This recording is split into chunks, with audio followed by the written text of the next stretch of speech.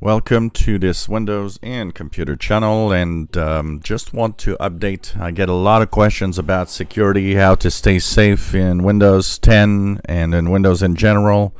And I just want to say that um, in general, and let's just uh, re-explain the basics. What you need to do to stay safe in Windows is very simple. First of all, there's no need to buy antivirus. This is a business that is trying to get money from you. Stores are trying to get money because if they, of course, sell an antivirus, they get a percentage. And of course, even manufacturers, you buy a new PC and there's a trial version of McAfee or Norton or, you know, um, Kaspersky. Well, that's uh, simply a way of trying to get money from you because they're trying to tell you that, well, you know what? Uh, your computer is not safe. You need antivirus. Unfortunately, there's a very sad way of that being done, and the way it is done is that they're kind of trying to tell you that you have no protection when in reality you have Windows security in your PC. Every Windows 10 PC comes Windows security. It is the antivirus that is part of the operating system that's why you don't need anything else. Some will post comments, it happens regularly. Oh, well, you know, that antivirus didn't test well, or it doesn't matter. Whatever test it got through, it is pretty good in most tests. And what I mean by that is that if you still think antivirus is what's protecting you, you've got security totally wrong. It's simple. Real good tech guys, real good um, security experts, when you ask them about security, they're not even going to talk about antivirus because that's not where security is. Antiviruses, yes, I do not recommend you don't run one, but Windows security is enough. The real security, the biggest one, comes from making updates.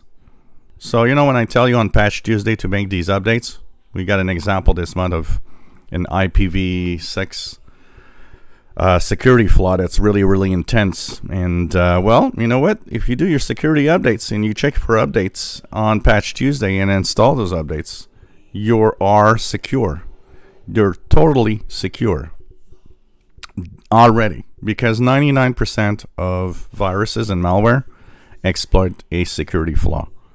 If you have made your security updates, you're already at low risk. The second thing is what you do. Of course, if you download illegal movies, music, and things like that, you're at high risk. You are going to get viruses. It's not even a question of if, it's a question of you are going to get viruses. As a tech guy, almost everybody that I actually had to remove viruses do illegal stuff or do stuff that shouldn't be done or download, you know, hacked games. Yeah, what do you know about the, that game and the, how it was hacked? How do you know it's not hacked and has some form of ransomware, malware, keylogger? That's the majority of, you know, anything that people download that has been hacked. The um, other thing then is uh, you.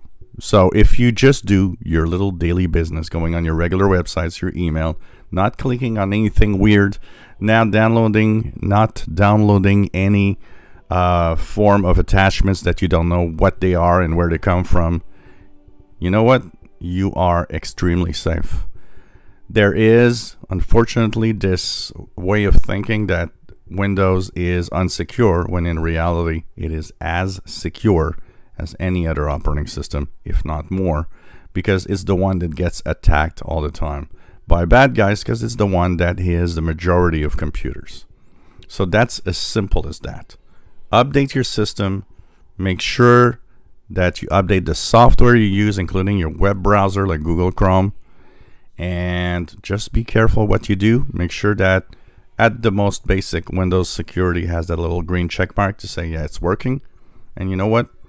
You're okay. If you enjoy my videos, please subscribe, give us thumbs up, and thank you for watching.